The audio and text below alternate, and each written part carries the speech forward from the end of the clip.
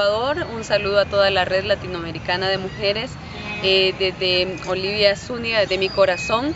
Eh, con todo el amor del mundo, abrazarles por toda esa solidaridad y decirles que tenemos que seguir siempre firmes y adelante a pesar del dolor, a pesar de todas las angustias que nos llevamos en estas luchas, seguir adelante hasta el final con más fuerza. Hoy más que nunca seguimos adelante, compañeras. Un saludo. Y para INTAC, que sigan adelante en la lucha hasta el final en la defensa de la madre tierra.